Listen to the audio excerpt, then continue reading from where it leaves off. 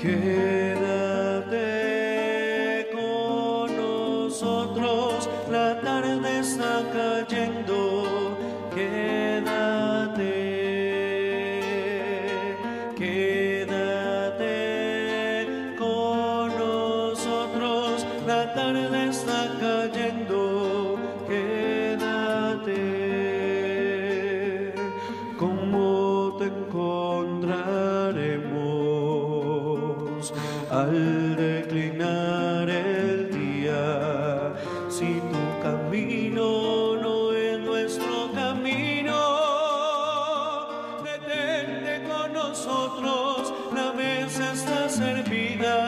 aliento.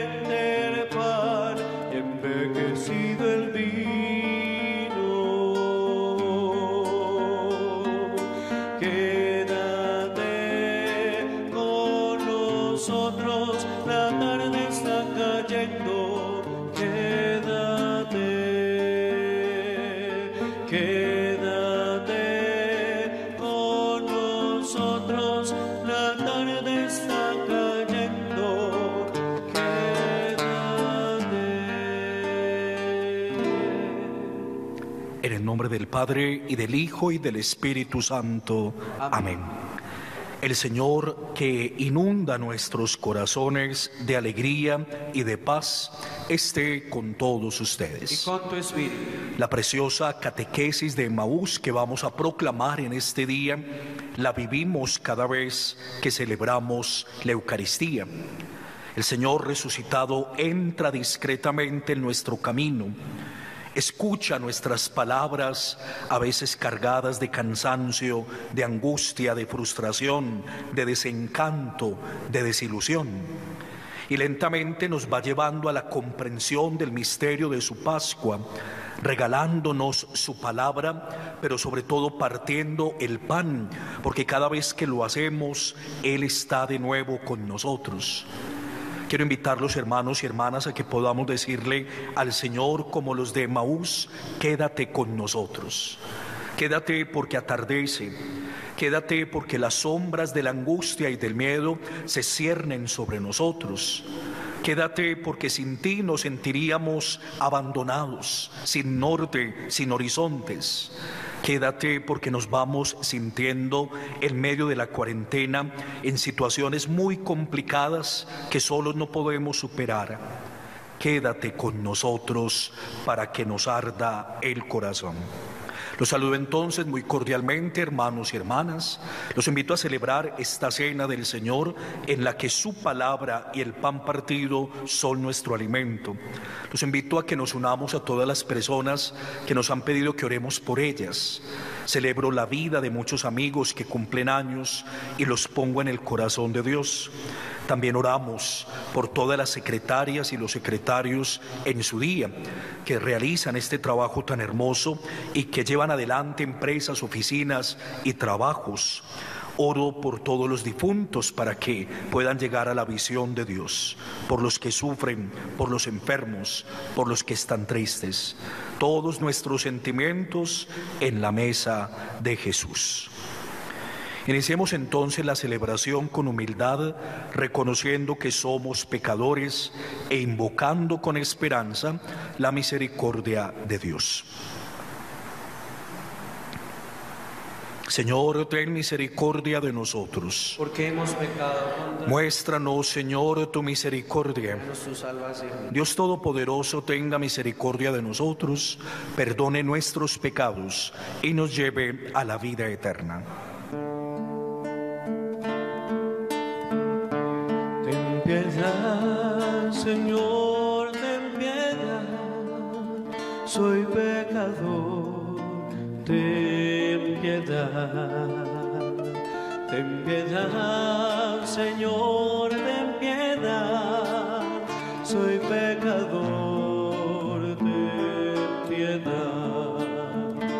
Y de mí, Cristo, apiádate. Contra ti yo pequé. Y de mí,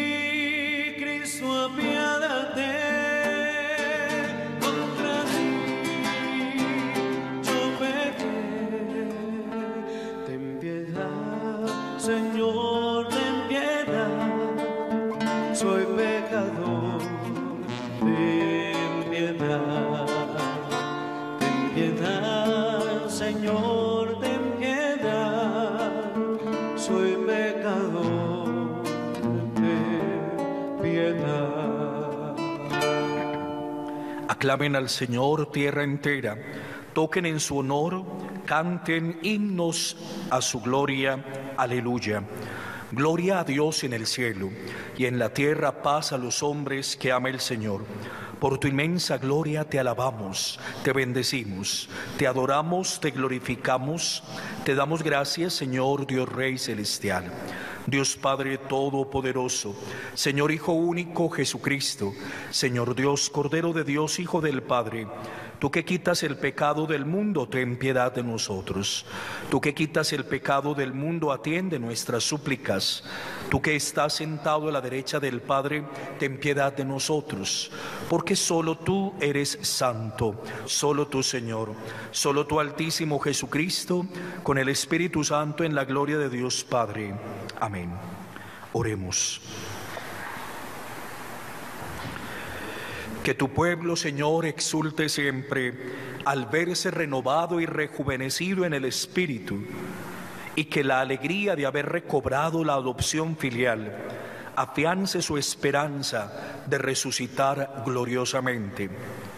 Por nuestro Señor Jesucristo, tu Hijo, quien vive y reina contigo en la unidad del Espíritu Santo y es Dios por los siglos de los siglos. Lectura del libro de los Hechos de los Apóstoles. El día de Pentecostés, Pedro, poniéndose en pie junto a los once, levantó su voz y con toda solemnidad declaró, Judíos y vecinos, todos de Jerusalén, entérense bien y escuchen atentamente mis palabras. A Jesús el Nazareno, varón acreditado por Dios ante ustedes con los milagros, prodigios y signos que Dios realizó por medio de él, como ustedes mismos saben, a este, entregado conforme al plan que Dios tenía establecido y previsto, ustedes lo mataron, clavándolo a una cruz por manos de hombres inicuos. Pero Dios lo resucitó, librándolo de los dolores de la muerte, por cuanto no era posible que ésta lo, que ésta lo retuviera bajo su dominio.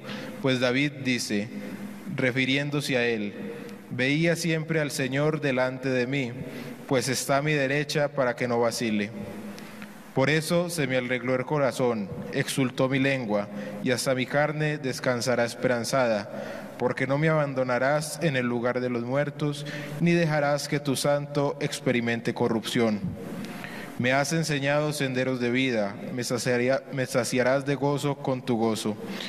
Hermanos, Permítanme hablarles con franqueza. El patriarca David murió y lo enterraron, y su sepulcro está entre nosotros hasta el día de hoy.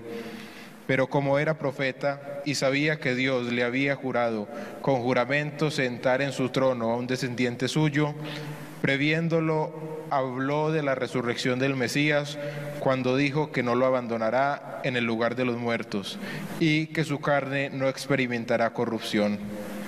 A este Jesús lo resucitó, Dios, de lo cual nosotros somos testigos. Exaltado pues por la diestra de Dios y habiendo recibido del Padre la promesa del Espíritu Santo, lo ha derramado. Esto es lo que están viendo y oyendo. Palabra de Dios. Señor, me enseñarás el sendero de la vida. Protégeme, Dios mío, que me refugio en ti. Yo digo al Señor, tú eres mi Dios. El Señor es el lote de mi heredad, de mi heredad y mi copa. Mi suerte está en tu mano. Bendeciré al Señor que me aconseja, hasta de noche me instruye internamente. Tengo siempre presente al Señor, con Él a mi derecha no vacilaré.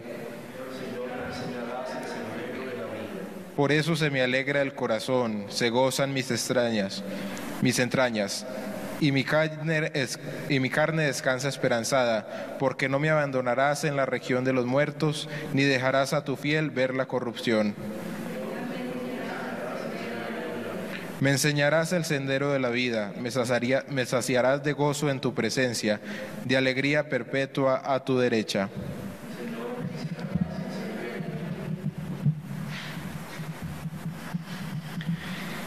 De la primera carta del apóstol San Pedro, queridos hermanos, puesto que pueden llamar Padre al que juzga imparcialmente según las obras de cada uno, compórtese con temor durante el tiempo de su peregrinación, pues ya saben que fueron liberados de su conducta inútil, heredada de sus padres, pero no con algo corruptible, con oro o plata sino con una sangre preciosa, como la de un cordero sin defecto y sin mancha, Cristo, previsto ya desde antes de la creación del mundo y manifestado en los últimos tiempos por ustedes, que por medio de Él creen en Dios, que lo resucitó de entre los muertos y le dio la gloria, de manera que la fe y la esperanza de ustedes estén puestas en Dios.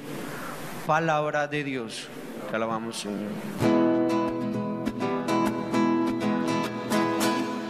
Aleluya, aleluya, aleluya, aleluya, aleluya, aleluya, el Señor resucitó.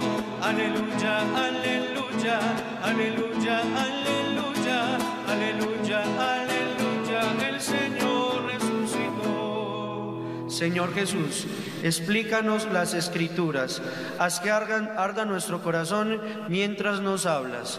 Aleluya, aleluya, aleluya, aleluya, aleluya, aleluya, el Señor resucitó.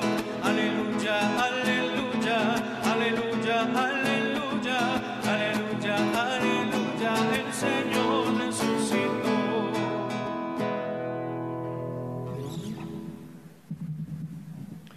Hermanos y hermanas, el Señor esté con ustedes. Les proclamo el Evangelio de Jesucristo según San Lucas. Gloria a ti, Señor Jesús. Aquel mismo día, el primero de la semana, dos de los discípulos de Jesús iban caminando a una aldea llamada Emaús, distante de Jerusalén unos 60 estadios. Iban conversando entre ellos de todo lo que había sucedido. Mientras conversaban y discutían, Jesús en persona se acercó y se puso a caminar con ellos, pero sus ojos no eran capaces de reconocerlo. Él les dijo, ¿qué conversación es esa que traen mientras van de camino? Ellos se detuvieron con aire entristecido y uno de ellos, que se llamaba Cleofás, le respondió, ¿eres tú el único forastero en Jerusalén que no sabe lo que ha pasado allí estos días? Él les dijo, ¿qué? Ellos le contestaron, lo de Jesús el Nazareno, que fue un profeta poderoso en obras y palabras ante Dios y ante el pueblo. ¿Cómo lo entregaron los sumos sacerdotes y nuestros jefes para que lo condenaran a muerte y lo crucificaron? Nosotros esperábamos que Él iba a liberar a Israel, pero con todo esto ya estamos en el tercer día desde que esto sucedió.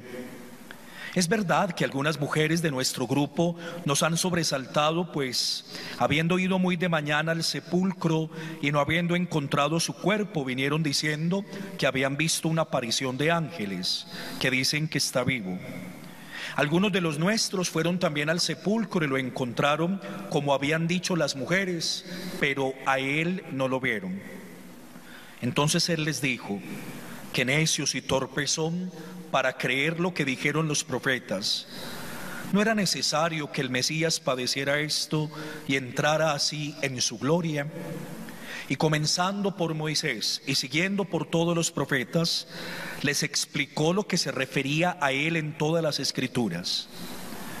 Llegaron cerca de la aldea donde iban y él simuló que iba a seguir caminando, pero ellos lo apremiaron diciendo, quédate con nosotros porque atardece y el día va de caída. Y entró para quedarse con ellos. Sentado a la mesa con ellos, tomó el pan, pronunció la bendición, lo partió y se lo iba dando.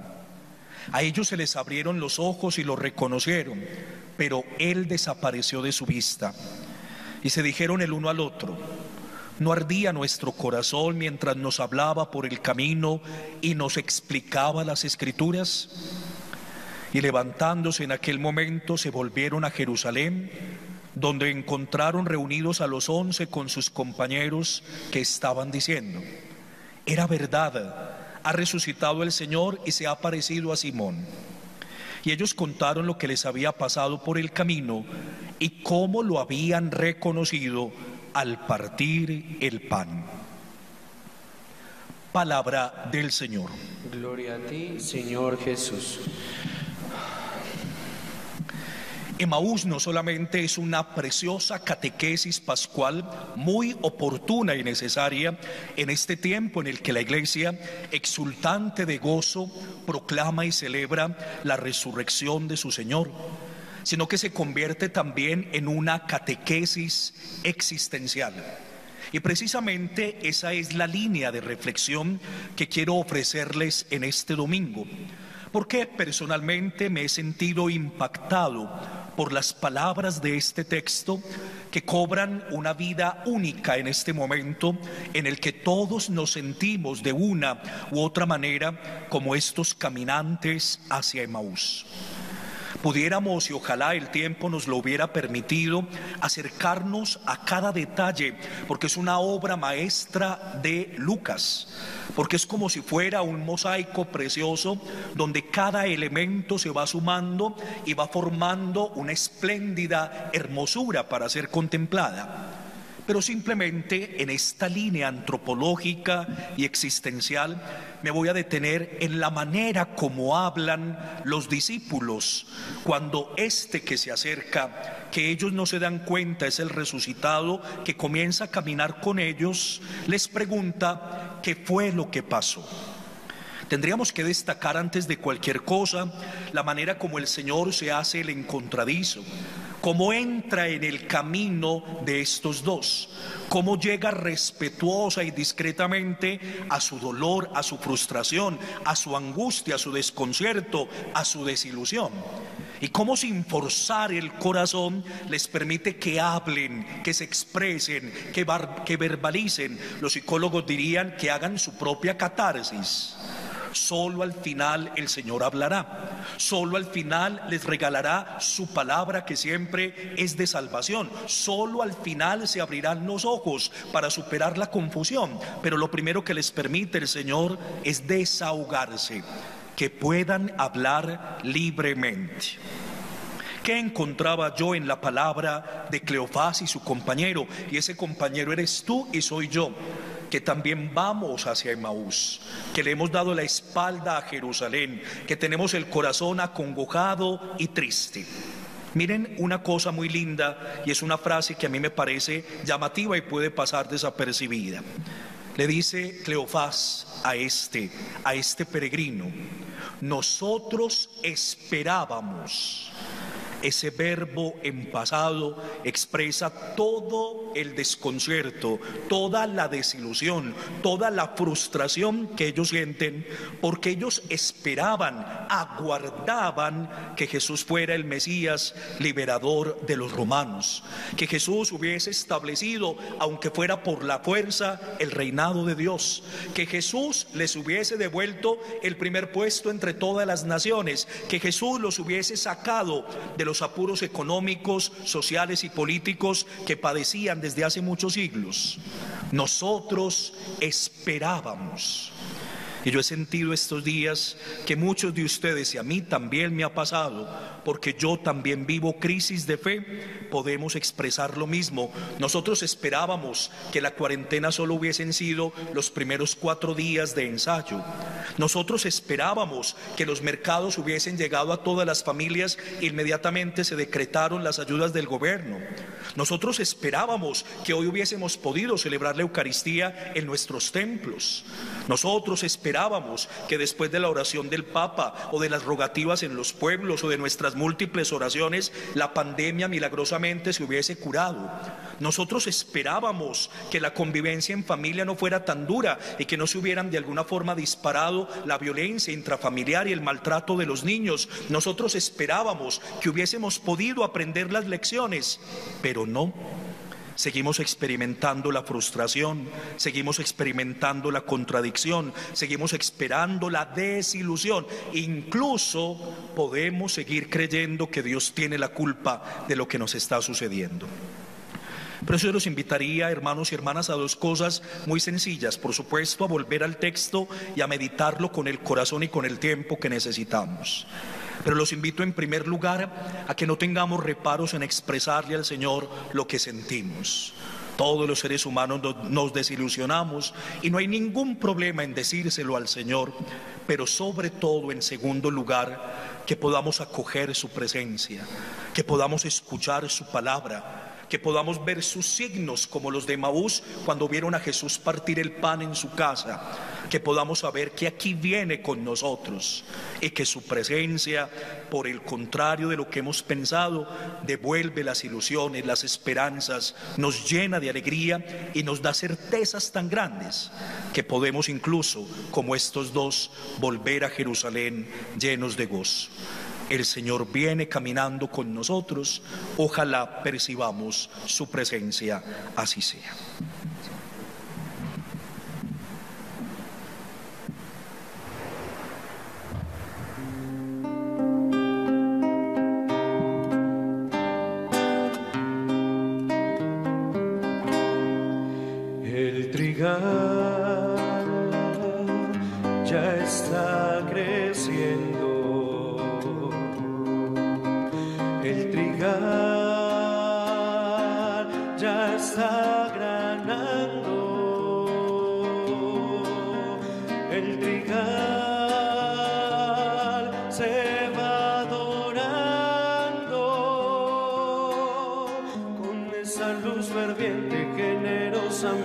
Dada por el sol.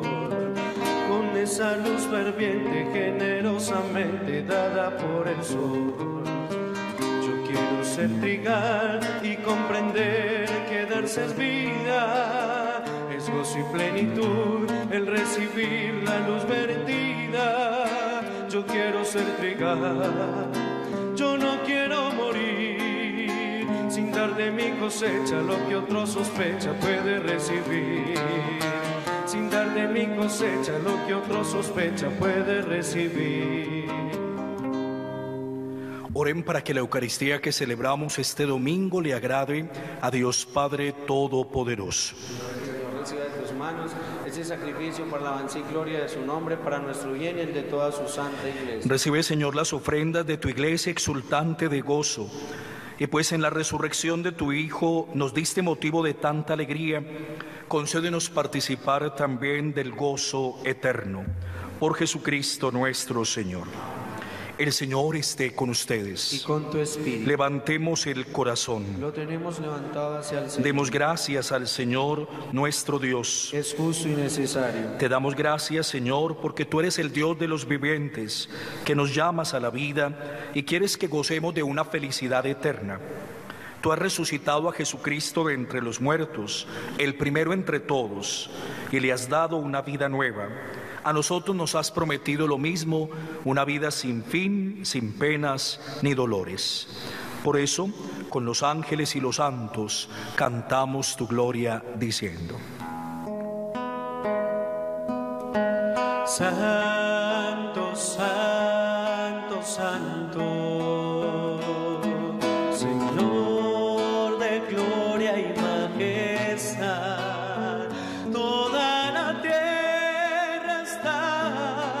llena de ti, Osana,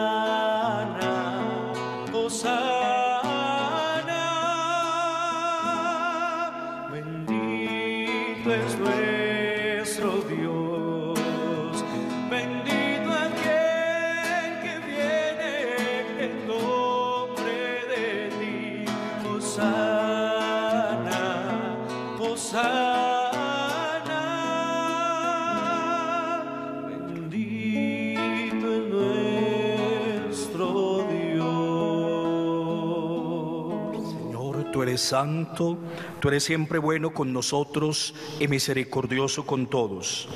Por eso reunidos para hacer lo mismo que él hizo en la última cena, te pedimos que tu Espíritu santifique estos dones de pan y de vino y los convierta en el cuerpo y la sangre de tu Hijo Jesucristo.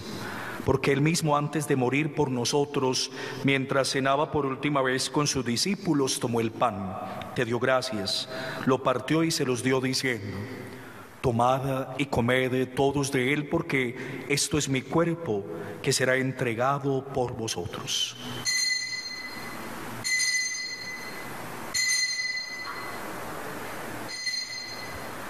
Del mismo modo, acabada la cena, tomó este cáliz y dándote gracias de nuevo, lo pasó a sus discípulos diciendo, tomad y bebed todos de él, porque este es el cáliz de mi sangre, sangre de la alianza nueva y eterna, que será derramada por vosotros y por muchos para el perdón de los pecados. Haced esto en memoria mía.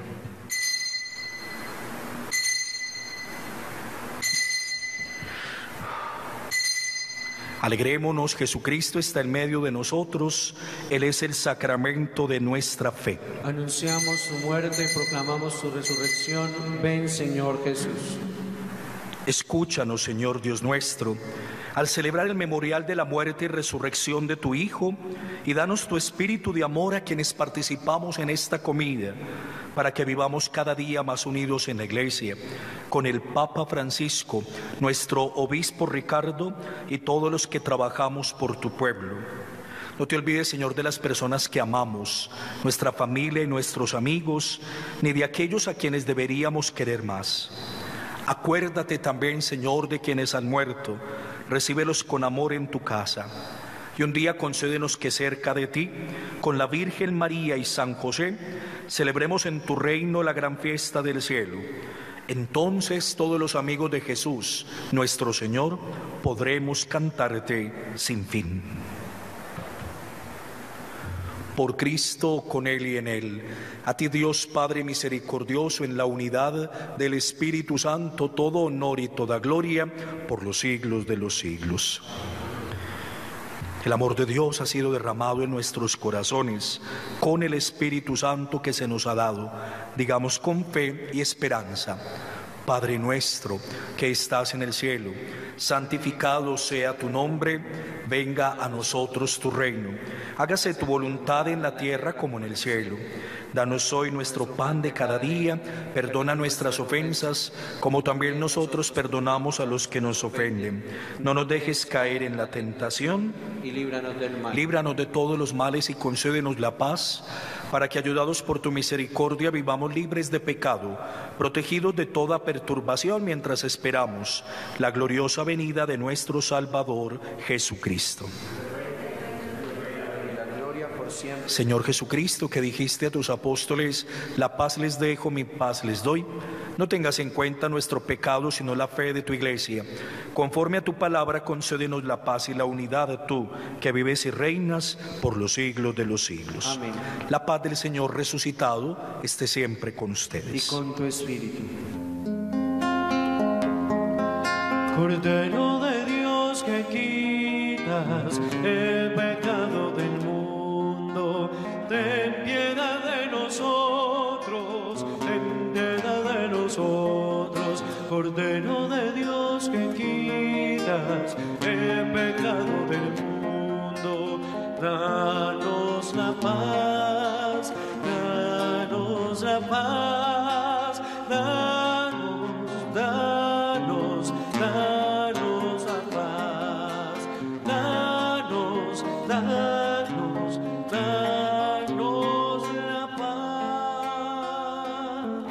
En medio de nosotros está Jesucristo, es el Cordero de Dios que quita el pecado del mundo. Dichosos los invitados a la cena del Señor. Señor, yo no soy digno de que entres en mi casa, pero una palabra tuya bastará para sanarme. Los discípulos reconocieron al Señor Jesús al partir el pan. Aleluya.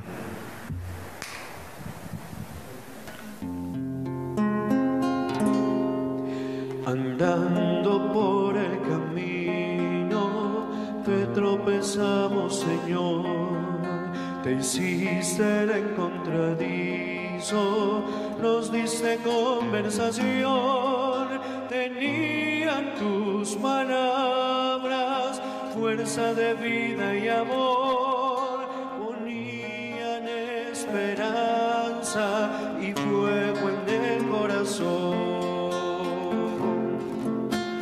Te conocimos, Señor, al partir el pan.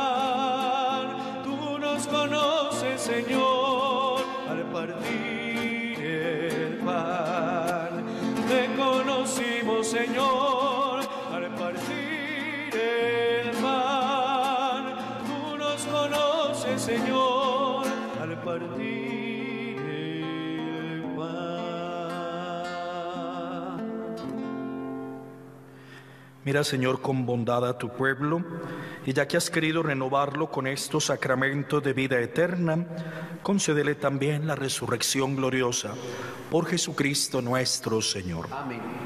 Pídele al Señor que se quede contigo ahora cuando sentimos que la tarde cae, que las sombras vienen contra nosotros, que se quede y su presencia disipe las tinieblas del corazón. El Señor esté con ustedes. Y la bendición de Dios, Padre, Hijo, Espíritu Santo, descienda sobre ustedes y los acompañe siempre. Pueden permanecer en paz.